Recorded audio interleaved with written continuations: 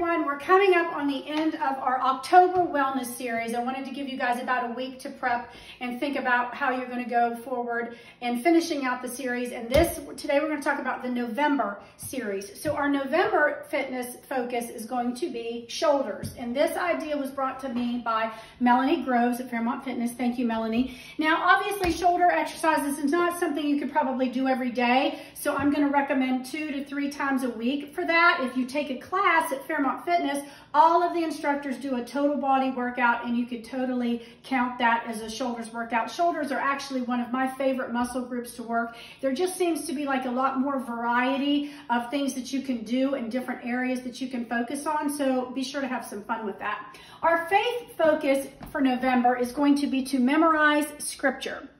And I put Psalm 119, 11 for you to look up, and it talks about hiding God's word in our heart so that we might not sin against him. So, you know, a lot of us may choose to read God's word, but in reality, it reads us. So, you know, we have the responsibility of getting it into here. And then as we repetitively get it in our minds, you know, the Holy Spirit works to make it resonate within our hearts. Now, again, this may be something you can do every day. It may be something you only do once a week. I like to write, so writing scripture helps me memorize it. Sometimes I put it on a chalkboard or even on a note card. This might be something I only do once a week. It just depends on how strong your memory is, right? And you can pick a verse from anywhere that you want. So our food focus for the month of November is going to be on fermented foods. Fermented foods are excellent for gut health, and we are definitely already in um, full swing of cold and flus and virus season. So fermented foods, again, may not be something that you can eat every day other than if you're taking in maybe um, apple cider vinegar or yogurt.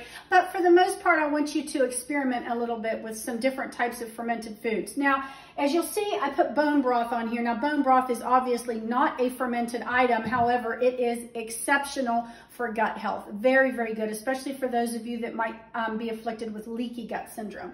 So some of your examples here for fermented foods are things like kimchi and yogurt. Make sure when you're buying yogurt that you look and make sure that the item that you're buying or the brand that you're buying does have live cultures in it. You can also get things like sauerkraut and pickles. Now, here's what I want to say about things like sauerkraut and kimchi.